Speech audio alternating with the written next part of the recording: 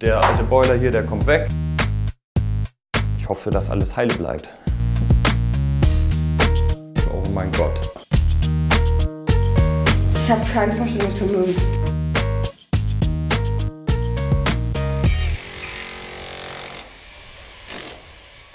Niebüll an der Westküste Schleswig-Holsteins. In der Mühlenstraße stehen insgesamt 16 Gewoba Mehrfamilienhäuser. Hier sollen in den kommenden Wochen 32 Wohnungen modernisiert werden. Die Häuser, Baujahr 1962, werden dazu der Reihe nach auf den neuesten Stand gebracht, um die Mühlenstraße wieder zu einem attraktiven Wohnort zu machen. In einer konzentrierten Baumaßnahme sollen die vier Wohnblocks von innen nach außen, vom Dach bis zum Keller grundauf saniert werden. Und das in Rekordzeit. Nicht länger als drei Wochen sollen die Maßnahmen in jeder der Wohnungen dauern. Im Haus Nummer 49 wohnt Familie Hillermann. Morgen sollen auch in ihrer Wohnung die Bauarbeiten beginnen. Grund genug für Chris Hillermann, die letzten Vorbereitungen zu treffen. Er macht Platz für die Handwerker, die für die nächsten 17 Arbeitstage ein- und ausgehen. Für diese Umbauzeit wird Familie Hillermann in eine Übergangswohnung ziehen. Ihre Möbel können aber in der Wohnung bleiben. Schließlich ist die Baumaßnahme eine Sanierung im sogenannten bewohnten Zustand. Im ersten Moment dachte ich, oh mein Gott, muss das sein? Aber dann habe ich darüber nachgedacht und dachte, dass es ja sehr gut ist, weil die Häuser auch schon sehr alt sind. Ich glaube aus den 50er Jahren und die auch dringend eine Sanierung nötig haben. Insbesondere in Bad und Küche weht noch der Wind vergangener Zeiten. Und hier soll sich die Renovierung am deutlichsten bemerkbar machen. Das Badezimmer wird komplett umgebaut, so soll der kleine Raum optimal genutzt werden. Ein neues Waschbecken kommt hier rein, neue Toilette halt, helle Fliesen und der alte Boiler hier, der kommt weg, weil wir eine Zentralleistung bekommen. Und dann haben wir auch viel mehr Platz hier drin. Man kann sich hier nicht mit dem Kopf dran stoßen. Da freue ich mich sehr drauf, ja. Seine alte Einbauküche hat Chris Hillermann schon abgebaut und seiner Schwiegermutter vermacht. Auf ihre eigene Küche muss die Familie jetzt drei Wochen verzichten. Es wird ungewohnt. Ich denke vielleicht auch ein bisschen hart die ersten zwei, drei Tage. Aber ich denke mal, wenn das erstmal der größte Lärm hier vorbei ist, die den meisten Kram raus haben, wird das schnell von der Hand gehen. Und man muss denen halt blind vertrauen sozusagen. Muss man ein bisschen über seinen Schatten springen, aber ich hoffe, dass alles heile bleibt. Morgen früh wird sich zeigen, ob diesem Wunsch auch entsprochen werden kann. Schließlich sind die ersten Handwerker die Männer vom Abbruchunternehmen.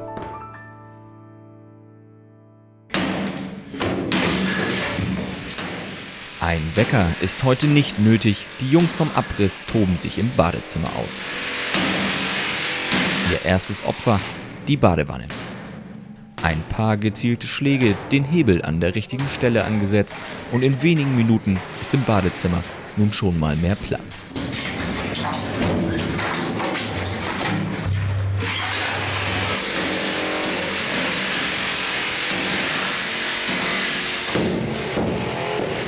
Und in der Küche sind die gemauerten Einbauschränke dran.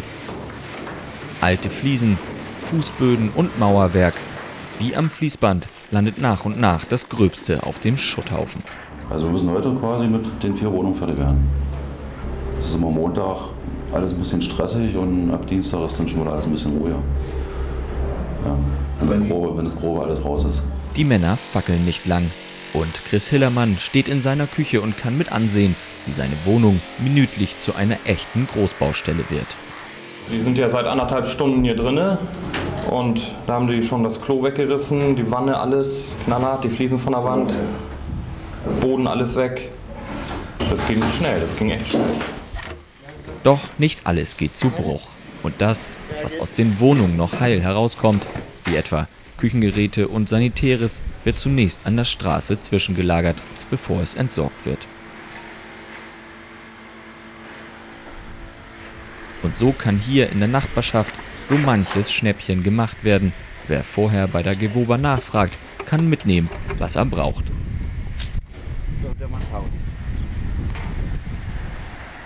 In meiner Wohnung ist, ist der Elektroherd kaputt. Da bin ich da hingegangen, habe mir die Genehmigung geholt und jetzt habe ich den Jetzt lasse ich einen Elektriker kommen und lasse mir den anschließen und dann bis nächstes Jahr, dann machen sie ja unsere Wohnung auch. Dann denke ich ja, und dann kommt er ja auch wieder raus. So. Gut, schönen Tag. Und so wird dieser Herd noch ein weiteres Jahr seinen Dienst tun können. Der Anwohner nimmt ihn dankend an, vielleicht auch eine kleine Entschädigung für den nicht zu vermeidenden Baulärm. Ein paar Stockwerke höher wird ebenfalls kräftig abgeräumt. Die Dachdecker entsorgen die alten Dachpfannen. Schon bald sollen hier neue Ziegel aufgebracht werden und eine Photovoltaikanlage. An der Wohnung der Familie Hillermann wird zur Gartenseite hin die Hauswand geöffnet. Hier soll später der Durchgang zur neuen Terrasse entstehen. Und auch die alten Fenster müssen weichen. Sie waren nicht mehr auf dem Stand der Technik. Die Kälte soll in Zukunft lieber draußen bleiben und somit die Heizkosten minimieren. Am nächsten Tag sind die Bauarbeiten wieder im vollen Gange und nach und nach entwickeln sich die Wohnblocks in der Mühlenstraße zu echten Hinguckern. Alle Gewerke greifen ineinander, ein genauer Zeitplan ist einzuhalten. Und damit das so bleibt, treffen sich einmal die Woche die Verantwortlichen zur Baubesprechung im Container nebenan. Von hier aus werden die Maßnahmen koordiniert, die Arbeiten kontrolliert, Fragen und Anregungen der Mieter entgegengenommen. Denn den Mieter von dem Bauprojekt zu überzeugen und jeden individuell zu berücksichtigen, war ein großer Bestandteil der Planung. Wir mussten im Vorfeld erstmal die Mieter, hauptsächlich erstmal die Mieter mit ins Boot nehmen. Wir haben also eine Mieterversammlung gestartet es war eine ganze Abendveranstaltung, wo wir aufgeklärt haben, was wir überhaupt vorhaben, was wir gedenken hier umzubauen und wann und wie das passieren soll. Das ist das Wichtigste hier so einer so einer Baustelle. Und im Weiteren haben wir uns natürlich einen Unternehmer im Vorfeld schon gesucht, der in der Lage ist, diese Leistung hier vernünftig zu erbringen. Um das zu gewährleisten, arbeitet der Generalunternehmer überwiegend mit Handwerksfirmen aus der Region zusammen. Alle spezialisiert auf diese Art der Sanierung und Modernisierung. In den Küchen beginnen die Aufbauarbeiten mit dem Sanitärinstallateur.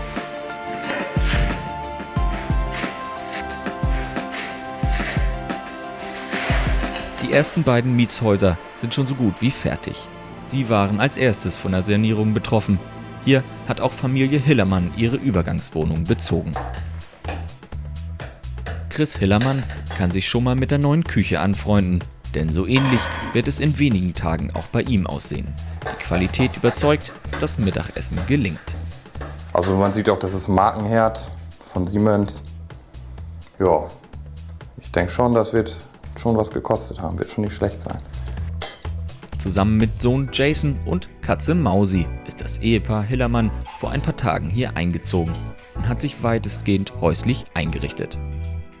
Das war überhaupt gar kein Problem. Die Gewoba ist uns da total zuvor gekommen. Wir haben die Wohnung hier angeboten gekriegt, haben uns dann ein paar Sachen geschnappt, die, die man halt braucht täglich. Was zum Schlafen, Bett, Matratzen und sowas. Der Kleine hat sein eigenes Zimmer, wo er dann auch spielen kann. Man muss aufpassen, dass man sich nicht an die Wohnung gewöhnt nachher.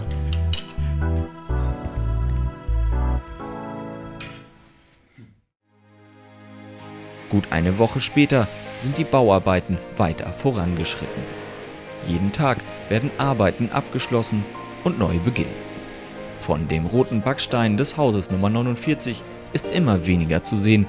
Ein neues Wärmedämmverbundsystem soll die Häuser besser isolieren und weitere Kosten sparen. Anschließend wird die Fassade verputzt. Außerdem werden zu allen Wohnungen neue Strom-, Wasser- sowie Abwasserleitungen gelegt. Der Dachboden wird gedämmt und das Dach gedeckt. Also das Dach hatte ja nun auch schon gut 40 Jahre auf dem Buckel, deswegen war hier eine Erneuerung grundsätzlich auch vonnöten. Wir haben also die Dachabdichtung neu hergestellt. Diese alte Betonsteinpfanne haben wir entfernt. Es ist ein neuer Betonstein draufgekommen mit einer Unterspannbahn. Das heißt, das Dach ist also jetzt auch winddicht. Und on top haben wir noch die Photovoltaikanlage montiert. Wir speisen den Strom, den wir hier erzeugen, komplett ins öffentliche Netz ein. Neues gibt es auch für die Wohnungen der Hillermanns.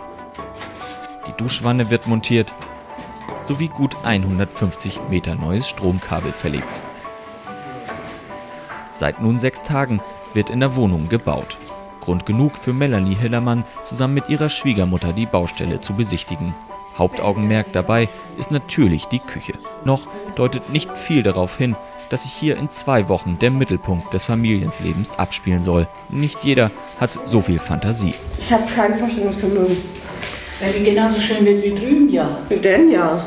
Der Zustand ihrer Wohnung hinterlässt heute zumindest gemischte Gefühle und die Ungewissheit darüber, ob denn auch alles im Plan ist.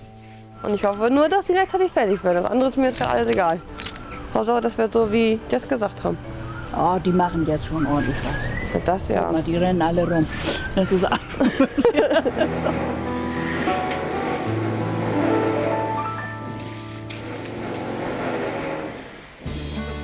Neue, dreifach verglaste Fenster mit Frischlufteinlässen sorgen für ein angenehmes Klima in den Wohnungen und im Portemonnaie des Mieters.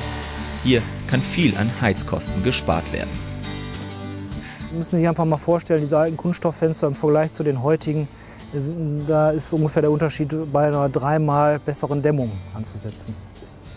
Also wir haben die ähm, Fenster jeder Wohnung erneuert und wir haben auch die Fenster zum Treppenhaus bzw. die Hauseingangstür erneuert mit äh, wärmegedämmten Isolierverglasungen, sodass wir da auf jeden Fall vernünftige neue Fenster haben.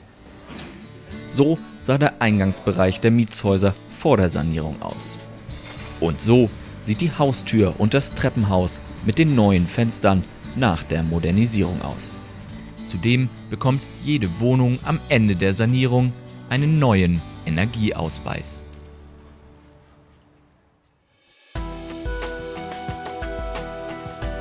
Die dritte Woche beginnt, die letzte Bauphase ist angelaufen. Projektleiter Markus Kempe ist mit Chris Hillermann auf Visite in der Wohnung und berichtet über den Stand der Dinge. Der Durchbruch zur Terrasse, die neuen Heizkörper, das Lüftungssystem. Alles wird dem Mieter genau erklärt und neben dem Status quo natürlich auch die alles entscheidende Frage, wie steht es um den Zeitplan? Ja, wir sind gut im Bauzeitenplan. Ähm, die Arbeiten gehen gut voran.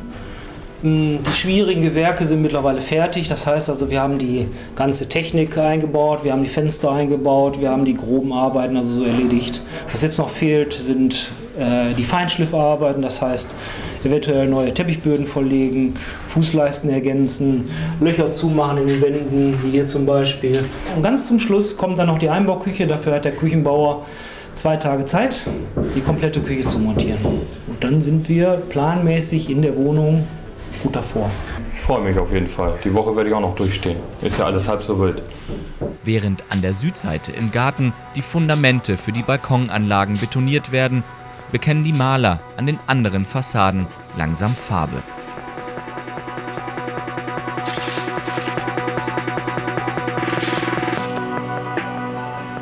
Ersten Wohnblock, der schon in der letzten Woche fertiggestellt wurde, haben sich zwei langjährige Mieter schon wieder häuslich eingerichtet. Während der gröbsten Bauphasen haben sie in einer Ferienwohnung und bei der Tochter übernachtet.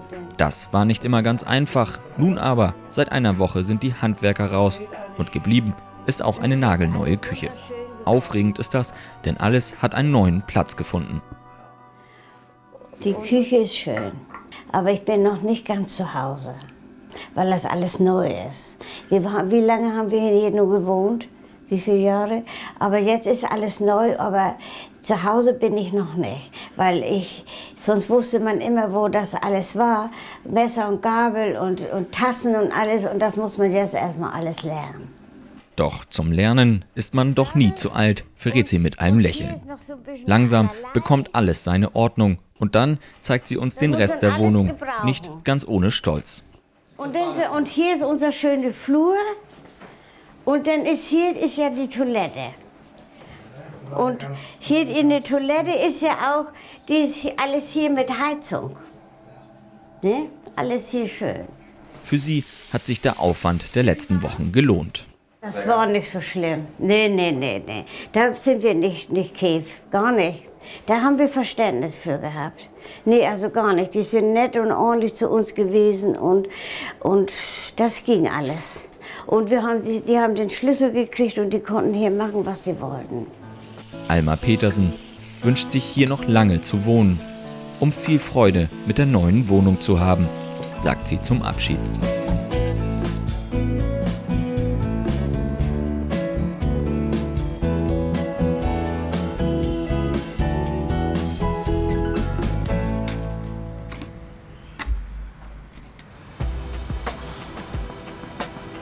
Nach und nach verschwinden auch die Gerüste vor den Häusern.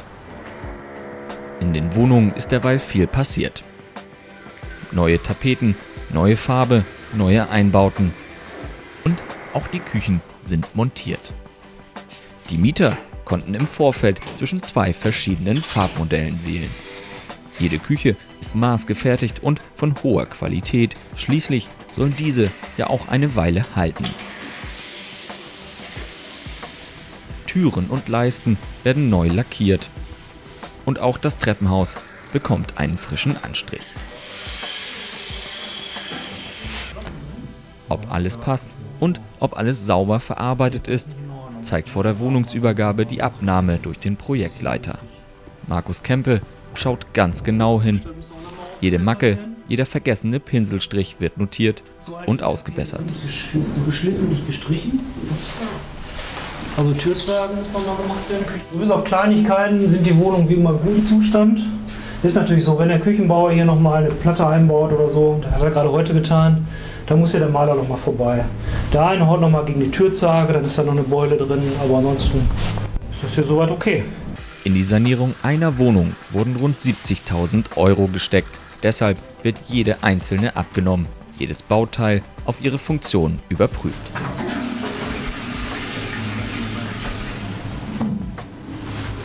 Wenn Sie jetzt hier irgendwelche Mängel übersehen bei der Abnahme, dann kommen natürlich die Mieter zurecht und sagen, hier, da ist noch was in Ordnung und hier fehlt noch ein Pinselstrich. Das fällt Ihnen nachher wieder auf die Füße. Erstens das und zweitens muss es ja natürlich eine vernünftige Leistung sein, die wir ja äh, natürlich abnehmen und auch bezahlen. Deswegen gucken wir auch schon ganz genau hin. Die Mietshäuser in der Mühlenstraße sind jetzt fast fertig. An der Südseite werden noch die Balkone montiert. Die Solarzellen liefern Strom und die Zentralheizung leistet volle Arbeit. Auf dem Dachboden wurden neue Stauräume geschaffen und mehr Platz für alle Mieter. Staub, Lärm und Stromausfälle. Bis alle Häuserblocks in der Mühlenstraße fertig saniert sind, können bis zu fünf Monate vergehen. Und das verlangt von jedem Mieter natürlich auch etwas Geduld und Ausdauer. Jede Wohnung ist aber spätestens nach vier Wochen bezugsfertig. In der Zwischenzeit ist auch Familie Hillermann zurück in ihre neue, alte Wohnung gezogen. Sie haben die Gelegenheit genutzt, neue Möbel gekauft und einiges umgestellt. Alle in der Familie haben die letzten Wochen gut weggesteckt, dennoch war es eine besondere Erfahrung. Ja, ich war ja mindestens einmal die Woche hier gucken, eigentlich so alle zwei, drei Tage. Und am ersten, die erste Woche dachte ich, oh mein Gott, die nehmen ja alles auseinander, die reißen hier alles ab. Aber dann hat man Stück für Stück gesehen, wie, wie sich das aufgebaut hat. Konnte man sehen, was das werden sollte. Und die letzte Woche hat sich dann noch so ein bisschen hingezogen. Da konnte man nicht viel sehen, obwohl die was gemacht haben. Das waren halt so Kleinigkeiten, denke ich mal. Und dann von einem Tag auf den anderen war es dann auch schon so gut wie fertig hier. Genau 17 Arbeitstage waren die Handwerker in jeder Wohnung. Vom Abriss bis zum letzten Pinselstrich hat sich viel getan. Die Küche bei Familie Hillermann, vorher ein Relikt aus alten Tagen, ist nun ein Raum für gemütliche Stunden und ein Ort für viele Kochrezepte geworden. Hochwertige Einbauteile und edle Oberflächen ermöglichen ein Zubereiten in geräumiger Atmosphäre.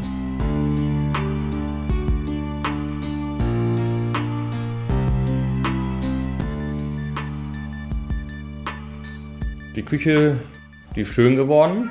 Schöner, als ich es mir vorgestellt habe. Wo wir sie eingeräumt haben, haben wir eigentlich eine Menge Spaß gehabt. Man hat entdeckt, die, die großen Schubladen, wo man Töpfe wunderbar reinstellen kann und der neue Herd. Das war, war spitze. Also wir haben uns schon sehr gefreut über die Küche. Und auch das alte Badezimmer hat sich gewandelt. Jetzt ein Ort, geräumig, hell und pflegeleicht.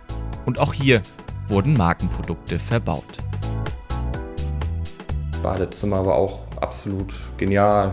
Man konnte gleich duschen, das warme Wasser kam sofort, nicht erst über diesen Boiler, dass ich das aufwärmen musste. Und die eigenen Wasserzähler, dass man auch ein bisschen auf den Verbrauch achten kann, finde ich auch ganz wichtig. Und das wandhängende WC finde ich auch super, kann man einfach runterherwischen, keine Stellen mehr, wo sich Dreck sammelt. Ich sag mal, im Gegensatz zu dem vorherigen Stand dieser Wohnung ist es der neue Stand der Dinge viel, viel schöner. der ganze Häuserblock, die ganze Straße, wie sah das vorher aus? Nicht so schön und jetzt ist, sieht aus wie Neubauten. Die Wohnungen sehen aus wie Neubauten. Also es ist optimal. Ich kann mir vorstellen, hier ewig zu wohnen mit meiner Familie. Für die Hillermanns hat sich die Anstrengung der Sanierung schon jetzt gelohnt. In ihrer Wohnung ist alles fertig. Rund ums Haus wird allerdings noch bis zum Frühling weitergebaut.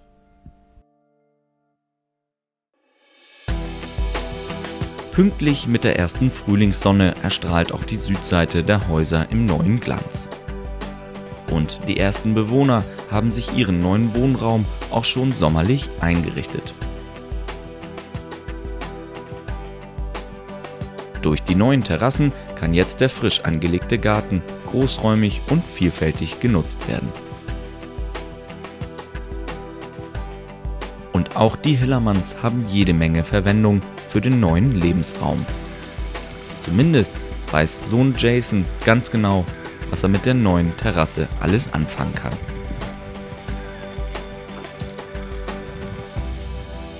Doch für alle Mieter der 32 Wohnungen bedeuten die Umbauten eine neue Lebensqualität. Ihre acht Häuser sind jetzt für viele Jahre der Ort für ein besseres Wohnen. Und damit es in der Mühlenstraße in Nibel überall gleich schön aussieht, wird auch schon an den restlichen acht Nachbarhäusern mit der Modernisierung weitergemacht.